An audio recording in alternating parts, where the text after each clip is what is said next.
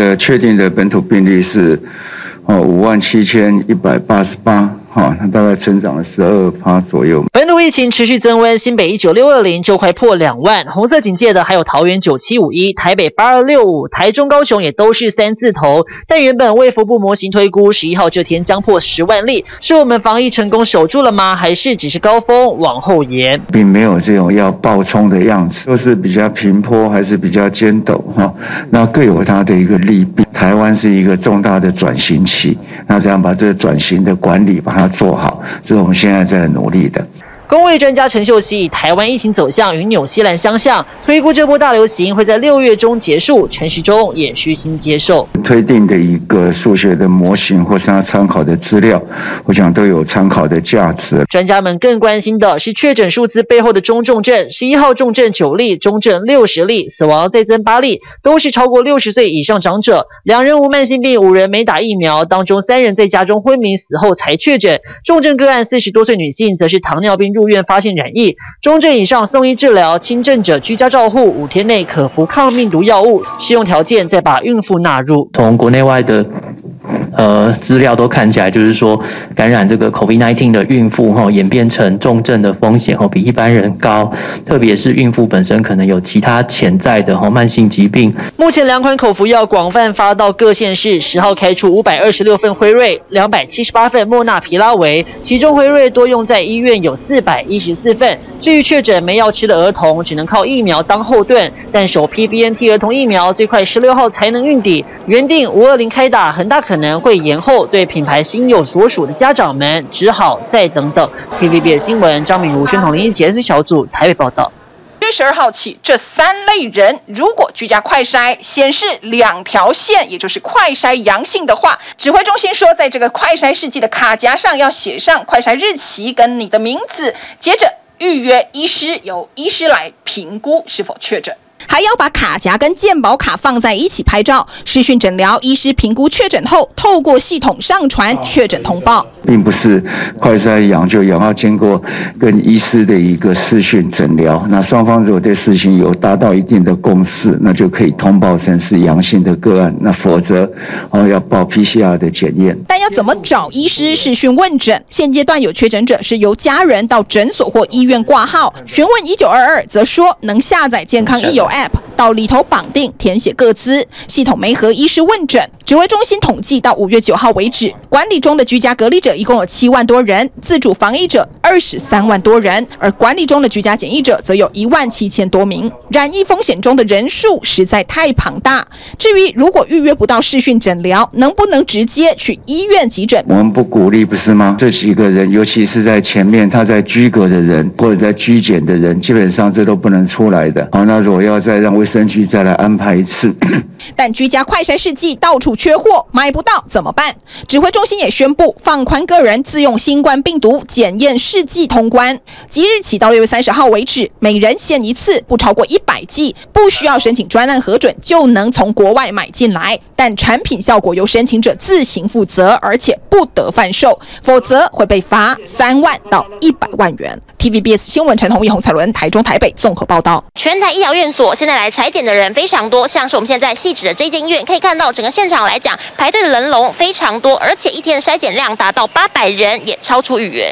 来筛检的人从早到晚都没停过，尤其在细只能筛检的医院又只有国泰，尽管有分流、防疫门诊、社筛和急诊等，人潮还是很多。就有网友在脸书社团贴文说，整整排了十多个小时都还没轮到我。医护人员辛苦，但也看到很多长者和坐轮椅的人跟着排十多个小时，看了很心痛，劝大家别来了。反正就是没有断过。那昨天到十二点多也还有小朋友在哇啦的，每天的。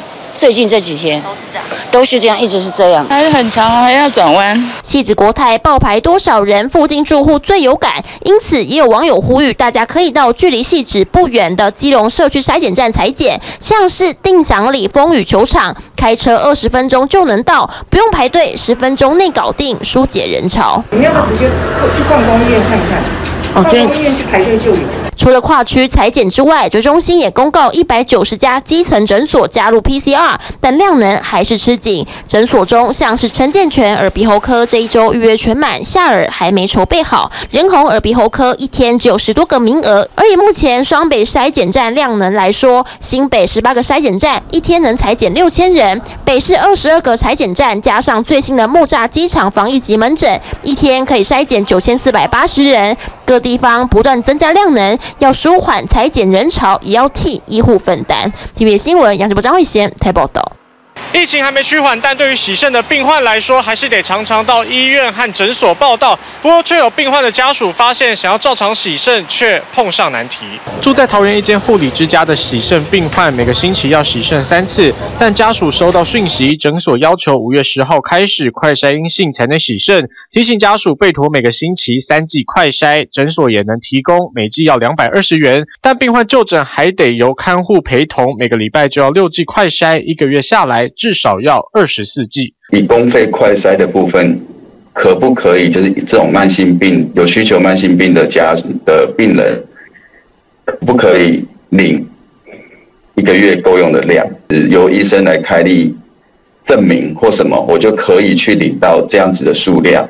家属说，要求快筛是合理的防疫措施，但实名制快筛数量有限制，非实名制费用比较高，一个月下来增加大约五千元的费用，也不清楚这样的规定是不是全台的洗肾中心都一致。量体温啊，喷那个酒精这样子，每个都一样，跟这个也只是说你要进你进大门来一次，你进我们的透气室的门就来一次啊，这样子。每个医院规定又不一样，今天的规定跟上个礼拜又不一样。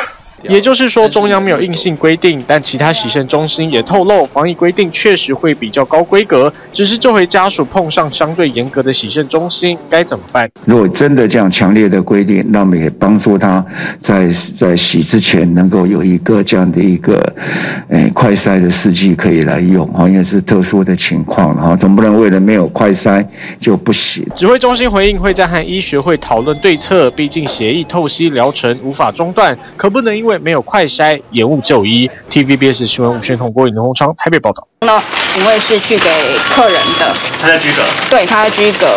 药局卖实名制快筛，还忙着送感冒药和快筛给居格者，没想到脸书出现有人假冒药师兜售快筛。我们也是第一次遇到这种事情。所以我们也很无言。客人跟我们回复说有这个状况，我们看到整个就吓到。对方锁定药局脸书快筛文章，在每一位客人的回复下方留言说私讯报价，告诉对方五入卖五百，民众还认为价钱很佛心，接着就取得一串网址。进入网页要先输入个资，接着出现商品，有福尔微创快筛、雅培快筛、相机和唾液试剂。选择数量后，输入信用卡号、卡片到期日和末三码，但最后只出现成功提交表单，没说去哪取货或如何配送。还好他是差点被骗，他。另外，在私底下私讯我们，及时帮客人救回这笔钱。药师说，别家有经营脸书的药局也被诈骗盯上来说要卖快筛。对此，刑局透露，今年度的快筛诈欺案多数是假网拍诈骗，歹徒在脸书或拍卖网站假装贩卖快筛试剂，却收钱不出货。如果不是医疗器材商，都不可以贩卖医疗器材。民众如果这样子就去贩售的话，我们可以依照《医疗器材管理法》第七十条，处以三万到一百万。的罚款。个人卖快筛可向食药署检举，如果涉嫌诈欺，也能报警或打一六五。诈骗集团看准实名制快筛难买，动歪脑筋。有药局被民众检举，说采预约制违法。药局澄清，接受电话预约是想减少民众排队群聚。现在挂出公告，表示寒心取消预约。业者问过北市卫生局，说没违法，但未来将改现场排队，要平息争议。TVB 新闻周中全新闻台报道。写错了之后，到时候又意标不实。骗骗的是很多的责任，或者是说我们没有填好，我们填错怎么样的，怎么到现在都是这个责任都是在确诊者身上来去来做这样子的一个背负呢？想填的仔细却无能为力，说的是自填意调这件事。像 A 先生小孩读私立中学国一住宿生，确诊后自行回报得靠家长帮忙，还发现一堆漏洞。孩子已经身体不舒服了，那孩子也不可能去填这些东西。学校就是说也是请家长。询问家长愿不愿意提供，可是家长有的愿意，有的不愿意啊，那是不是就会造成了黑数？因为同寝室也算同住，光在自主回报意调系统密切接触栏位，除了姓名、身份证，还得填生日、手机和地址，但要有这些各资，都需要对方提供，不给根本无法填报。有空格来算要填写，然后还要同寝室的也要填写，这样同住家人的话。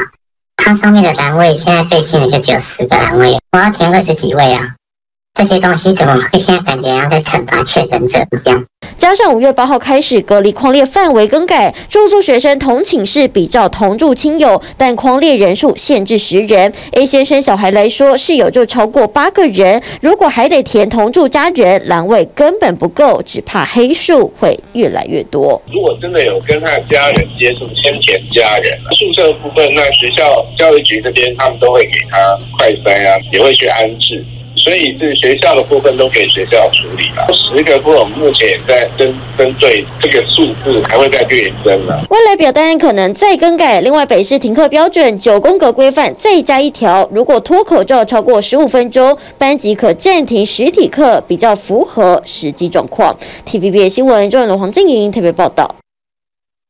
我我要急诊，他基隆三种，他也不理我。林先生又急又气，在急诊门口情绪激动，孩子发烧无力，在家快筛阳性。基隆市府公告，三家医院有儿童看诊快速通道，他带来三种，却被拒于门外。诊的护理师直接说，根本这是基隆市政府单方面说，这是单方面他们做决定，完全没有跟基隆三种做协调。只只退烧就好了。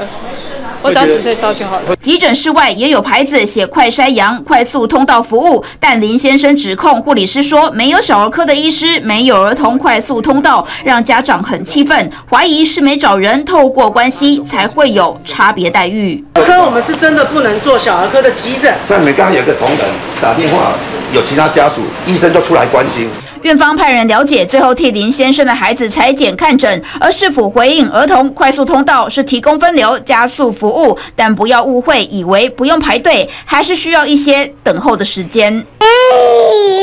棉棒戳鼻腔，小弟弟嚎啕大哭，因为姐姐的幼稚园同学确诊。这是前台联台南市党部主委陈昌辉的女儿，陪孩子居隔才领到一剂快筛，跟公所反映，却说他们已经领三剂了。小孩只有一剂，大人没有半剂。请问这一季我们是要小孩子跟大人共用吗？市府回应应该是忙中出错。陈昌辉一家被框列在五月七号前的救治，总共可以领到五剂的快筛，差四剂会补发。我们只领一剂。只领一剂啦，结果你搞我登录的是，我大人已经领三剂出去啊。台南确诊者居家照护第六天领到防疫包，有体温计、酒精，就是没看到最重要的快筛剂。但他可能不清楚，现在居隔者才会有快筛。高雄也一样，确诊就是七天后解隔，隔离的家人才需要快筛，确定有没有染疫。TVBS 新闻刘新奎、顾守昌，台南基隆综合报道。眼前穿全套防护衣，戴 N 九五里面再夹一层医疗口罩，外头防护面罩保护，是在医院协助快筛阳性民众 PCR 裁剪的医师。汗水、雾气、闷热天气，一天下来，我们所有一线人员都是这么辛苦，这么累。现在几乎每家医院诊所能 PCR 的外头都有这样一条长长人龙。过去女团星星、月亮、太阳的成员胡小金快筛阳性去排 PCR 等四点五个小时，当他看到医生、护理人员那瞬间，他好揪心。我们的医护人员要承担这么多的里面的、外面的心理的人数的压力，坦白说，我心里面是。很心疼，有担忧。我们还没到这波疫情高峰，各家医院的急诊里头，医护都愿意盯到最紧来帮忙。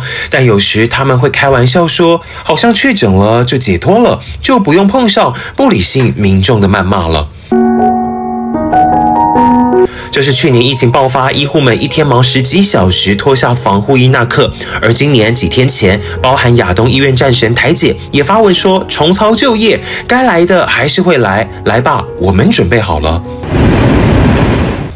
每间医院外，从清晨到半夜，可能都有人，当然有人排出火气，彪骂医护。每天真的太忙碌了，那护理人员都讲，我只有一个人，两只手而已。我没有办法像八爪章鱼一样有八只手。我们在在这边呼吁，你挤压的是别人的生命。护理师工会的玉凤说，他们听到最严重的医病比有到一比二十九，专责病房护病比从原本一比五膨胀到四倍，一个护理师同时照顾二十人。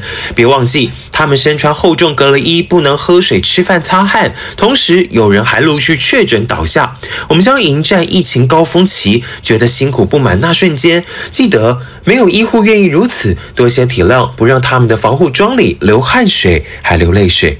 TVS 新闻王新堂瑞台北报道。全身包紧紧，仔细确认每个检体，这是疫情下医检师的日常。但现在不少站在第一线的医检师越做越无力，因为立委爆料要给医检师的奖金怎么变礼金？我说台大的部分要他们有发了，中秋节拿来当中秋礼金发了，这样名目有符合吗？我们会去个函，请医院呢尽快的播放我们已经呃拨下去的这一些奖励或者是津贴。被挪用，挪挪用会违违法哈，这是处分很重。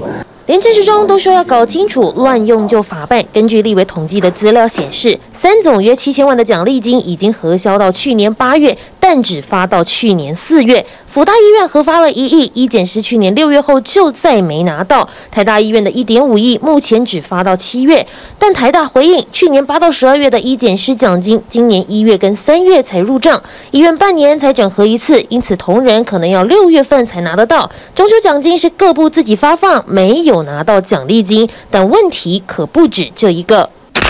去年七月，医检师工会就发文给卫福部告知，有四成的机构没有照规矩发奖金。桃园医院的医检师还是收到院长的道歉信，说因为疑似或确诊的病例认定问题，津贴还在反复审核中。有很多医检师超时加班，但是却又苦等不到所谓的筛检补助金，没拿到奖励金的，然后就越做手越软，那有的甚至就。很希望自己在干脆就感染。医检师心灰意冷，因为不管怎么说，辛苦的奖金就是没有进到口袋里。TVBS 新闻刘立雄、韦嘉琪台北采访报道。请支持 TVBS 国际 Plus 全新频道，让您扩大视野，掌握趋势，接轨全世界。恳请订阅，开启小铃铛。